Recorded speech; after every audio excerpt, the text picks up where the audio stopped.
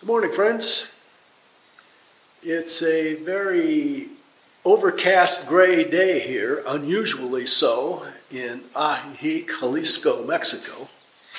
Usually we have sunny days. I don't know what the number is, but 300 and some sunny days a year. But look at this. This is unusual.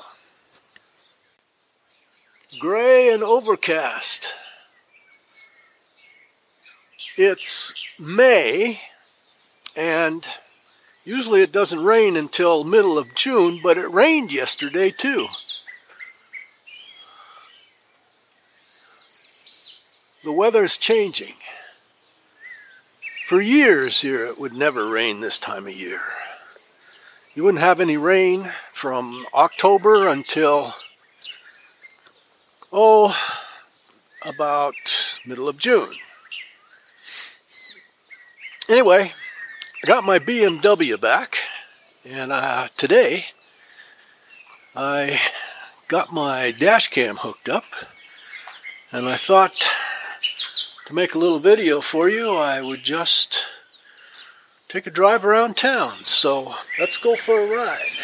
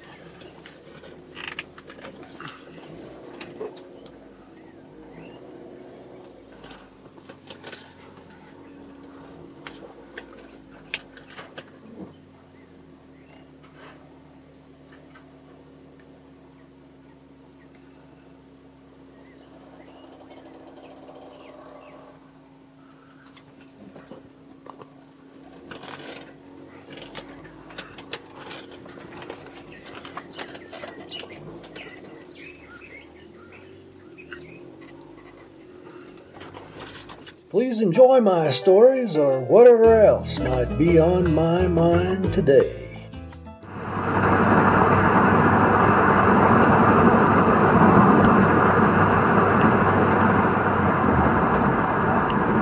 Well, we have some new speed bumps here. Fortunately, they're those kind that uh, you don't have to slow down to a dead stop.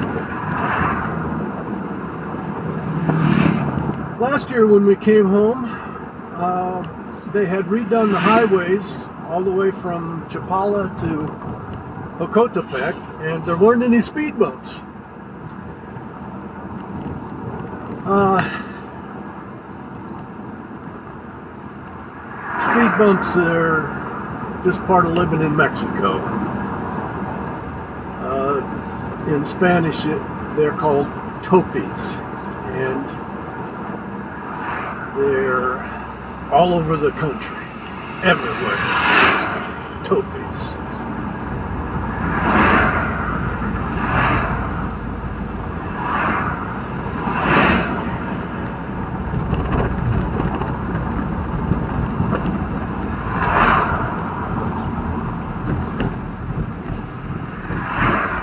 Traffic's not terrible today. It's Saturday morning, and uh,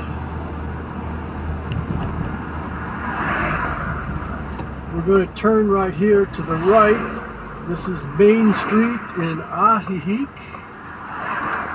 Colón.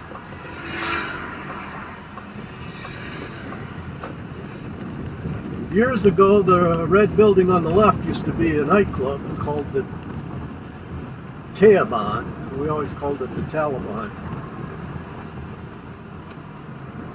Spent a lot, a lot of evenings in there, enjoying the music and the good food. It's now a real estate office for several years. The old church is here on the left. I believe the construction started in 1541, somewhere around there, a long time ago.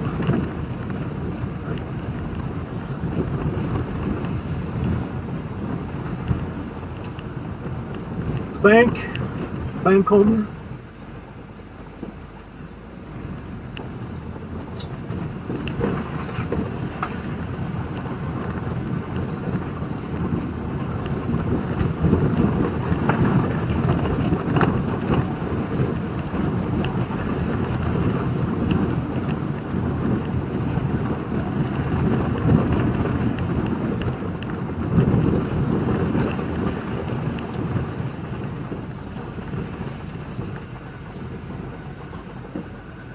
We're going to go straight on down to the lake.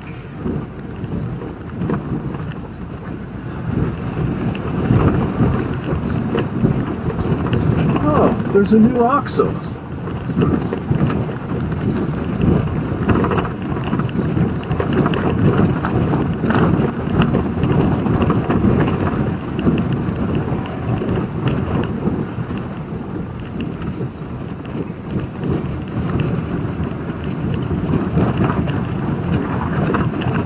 Of early in the morning. It's 8 o'clock. This place will be much more lively a little later, but traffic can get bad, so I've come out a little early.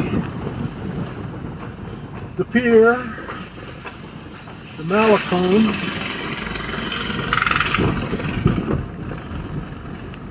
Some construction going on there.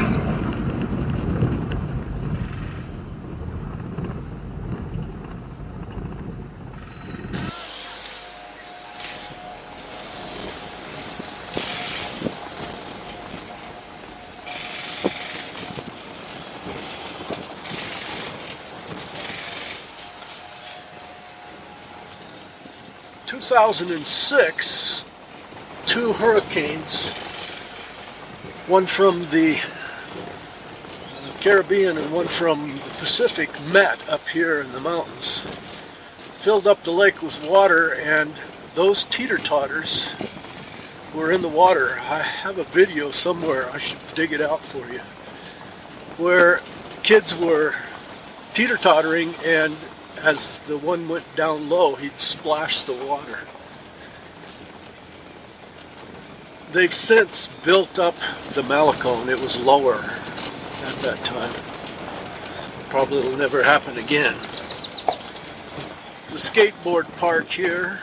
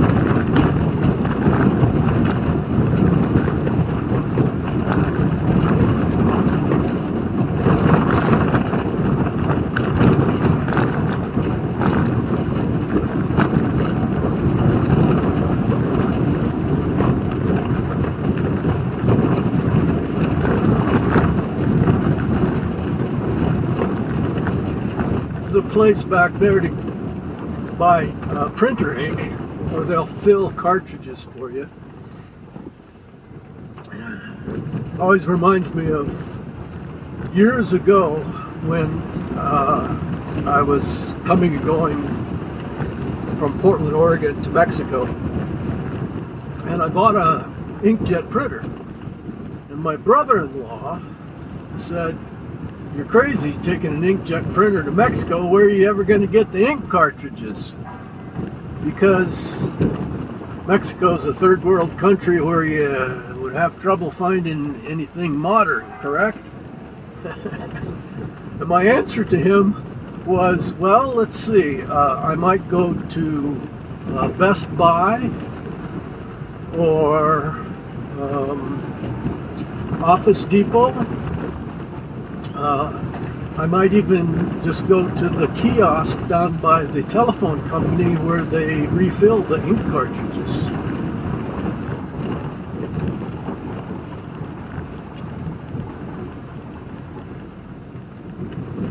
The Chameleon Bar. My first trip here, I was in the plaza, Lynn and I, and we were kind of standing there and talking to each other quietly, but about whether or not it would be safe to eat a hot dog on the plaza. And a lady named Michelle, who uh, turned out to be a nurse and uh, an American who had lived here for like 30 some years at that time, spoke to us in English and said, yeah, it'd be okay to eat a hot dog there, and we became friends. But that night, she walked us around, and one of the places she took us was the Chameleon Bar. And we're sitting in there, and I was telling a story about having gotten stopped by the uh, officer at that intersection by what is now Walmart in La Floresta. And I made a uh, left turn without waiting for the green arrow to turn left. And it's a common thing for new people here. And the cops used to sit right there and get all the new people in town pay a little mordida. Well, I was telling the story and about how nervous I was the first time I ever had to pay a mordida or attempted to, and that I thought I was probably going to go to jail for bribing an officer. Mordida, if you don't know, is the literal translation is the little bite, and it's the little bit of money you might pay to an officer. It's curious that I'm following the La Floresta police while I'm telling this story uh, a little bit of money you might pay to an officer, a little bite out of your billfold, uh, mordida, instead of him giving you a ticket. So that happened, and I was saying that I had paid uh, a couple hundred pesos, and they were all laughing at me for having paid too much at that time. This is 20 years ago. Mordida is highly discouraged these days, and uh, we don't do that anymore, but like I said, that was 20 years ago. I have another La Floresta story. La Floresta Police. I may have told this story before, so if you've been watching my videos for three or four years, you might have heard this story before, but we bought a um, old motorhome and came down to Mexico and we rented a house and I wanted to store the motorhome at the house. i am actually going to drive up by the house. I'll show you the house, but the deal is that it had two driveways, and I was towing my Suzuki Sidekick with my old uh, 1988 Southwind 33 foot motorhome. One driveway went into a garage where I could park my Suzuki Sidekick Jeep, and the other driveway was outside the wall of the yard, but uh, it was long enough that I could park my motorhome off of the street. This is uh, La Floresta, by the way, and up here on the corner, I'll show you the house I'm talking about. Anyway, there was a tree limb hanging over the driveway, and it prevented me from backing all the way in with my motorhome. So I got permission from the owner to trim the tree. And I'm out there with uh, my little saw and I'm working on it. And the neighbor, whom I've never met before, comes out. I'm standing on the top of my motorhome trying to saw this tree off, tree limb off. I'm going around the corner here because I'm going to show you exactly the driveway I'm talking about. It was this driveway right here and that tree right there. Well, anyway, my neighbor from that White House over there comes out. His name is Dick. And Dick says, uh, I've got a bigger saw if you want to use it. So he goes and gets his bigger saw, and we saw this limb off. And then we look at the tree, and it seems like, well, maybe we ought to take one off over there to kind of balance the tree. And we're not arborists or professional tree trimmers, but we're trying to do our best for the tree. And pretty soon we've got a nice sized pile of limbs, and the La Floresta police comes along, little Volkswagen bug. And the guy says, uh, What are you doing? You can't be trimming these trees. The tree doesn't belong to you. This tree is part of the La Floresta, and trees actually belong to the federal government. You need a permit to trim the tree. Anyway, he says, uh, I'm going to call this in. So he calls in. Pretty soon he hands me a police radio, and uh, it's like a walkie-talkie. Guy on the other side says, "I am the captain of the law police, La Floresta Police Force, and I will arrive shortly upon the scene to assess the damages you've caused." Okay.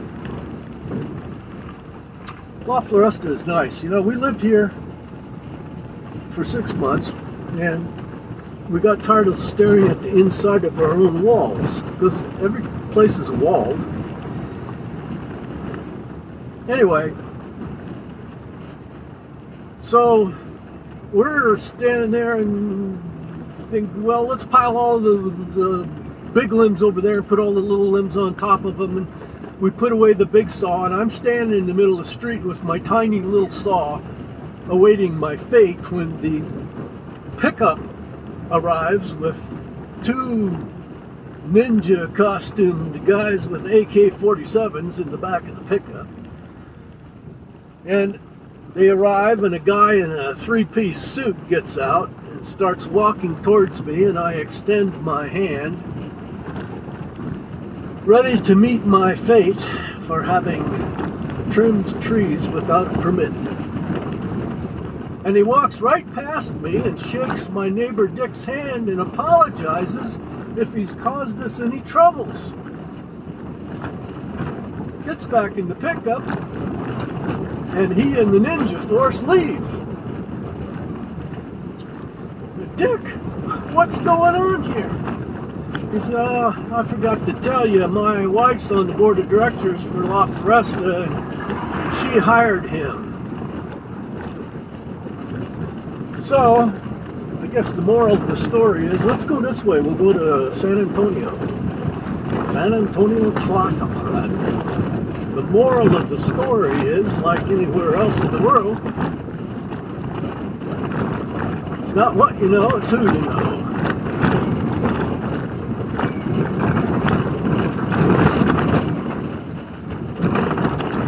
I have another tree trimming story while I'm thinking about it, and we're just riding around.